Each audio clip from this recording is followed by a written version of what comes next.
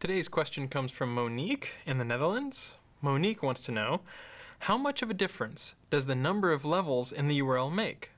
Does www.domain.com slash keyword give much higher rankings on keyword than www.domain.com slash blah blah slash blah blah slash keyword?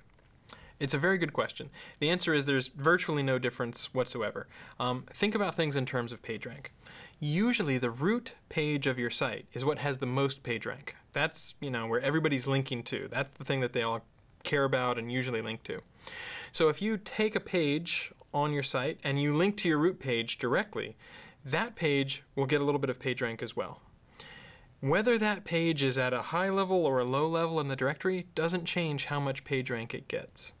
Now, I can't speak for Microsoft or Yahoo. I don't know how they treat things. I've heard rumors that they look at the number of levels, and certainly for usability, if you can make things relatively close to the to the root page, that can be nice. But certainly within Google, I wouldn't worry very much at all about whether things were at one level deeper or at the root level or something like that.